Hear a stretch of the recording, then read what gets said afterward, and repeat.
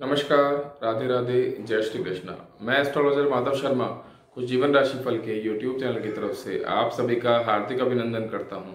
9 दिसंबर 2021 वार, गुरुवार के पंचांग को लेकर मैं आपके सामने प्रस्तुत हूँ। अगर आप हमारा वीडियो देख रहे हैं तो आप हमारे इस वीडियो को लाइक करें और जिन्होंने भी हमारा खुश जीवन राशि फल यूट्यूब चैनल सब्सक्राइब नहीं किया है, हमारे चैनल को सब्सक्राइब करें ताकि सभी वीडियोज़ आप तक पहुँच सकें।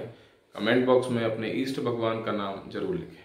आइए पंचांग शुरू करने से पहले जानते हैं आज के दिन क्या विशेष रहने वाला है। आज षष्ठी तिथि रहेगी, जिसके कि स्वामी कार्तिकेय भगवान माने गए आज स्कंद षष्ठी व्रत भी रहेगा। आइए शुरू करते हैं पंचांग। वार, गुरुवार, विक्रम संवत दो हज़ार अठहत्तर, शक संवत उन्नीस सौ तियालीस, माह मार्गशीष माह, पक्ष, शुक्ल पक्ष, तिथि, षष्ठी तिथि, नक्षत्र, धनिष्ठा नक्षत्र, जो कि रात नौ बजकर पचास मिनट तक रहेगा, उसके बाद शतभिषा नक्षत्र शुरू हो जाएगा।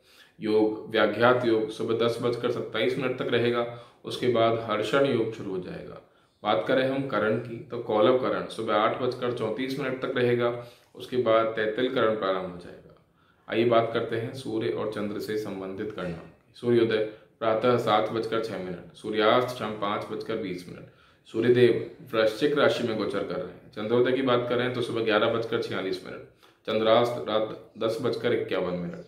चंद्र राशि की हम बात करें तो सुबह दस बजकर दस मिनट तक चंद्रदेव मकर राशि में रहेंगे, उसके बाद वे कुंभ राशि में प्रवेश करेंगे।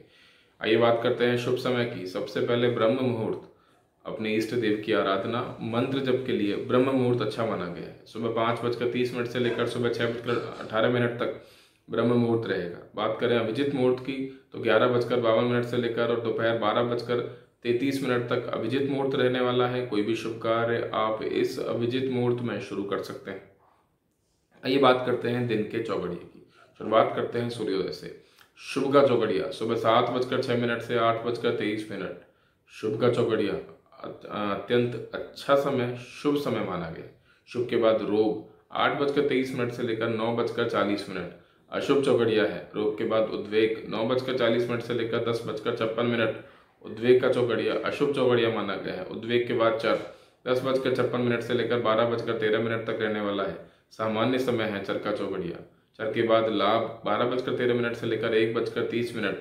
शुभ समय लाभ के बाद अगर हम बात करें अमृत का चौगड़िया, एक बजकर तीस मिनट से लेकर दो बजकर छियालीस मिनट तक अमृत का चौगड़िया रहने वाला है। अमृत के बाद काल, दो बजकर छियालीस मिनट से लेकर चार बजकर तीन मिनट तक काल का चौगड़िया रहेगा, जो कि अशुभ चौगड़िया है। काल के बाद हम बात करें, शुभ चार बजकर तीन मिनट से लेकर पाँच बजकर बीस मिनट तक रहने वाला है। इन सभी चौगड़ियों में शुभ, लाभ और अमृत, ये तीनों चौगड़िए अत्यंत शुभ माने गए रोग, काल और उद्वेग को अशुभ चौगड़िए की संज्ञा दी गई है। आइए बात करते हैं अशुभ समय राहुकाल और गुलिक काल की। राहुकाल जो है, एक बजकर तीस मिनट से लेकर तीन बजे तक रहेगा। गुलिक काल सुबह नौ बजकर तीस मिनट से लेकर और सुबह ग्यारह बजे तक रहने वाला है। कोई भी शुभ कार्य इन दोनों समय में शुरू नहीं करना चाहिए।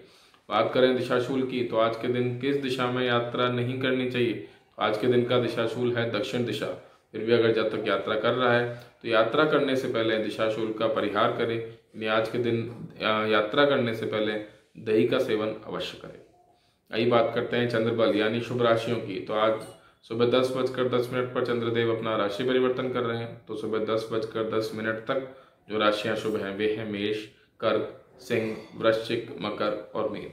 और सुबह दस बजकर दस मिनट के बाद में पूरे दिन जो राशियाँ शुभ रहने वाली हैं, वे हैं मेष वृष सिंह, कन्या, धनु और कुंभ।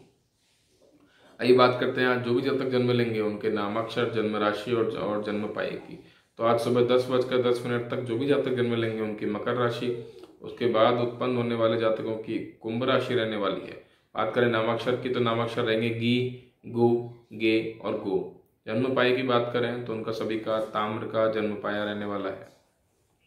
धन्यवाद।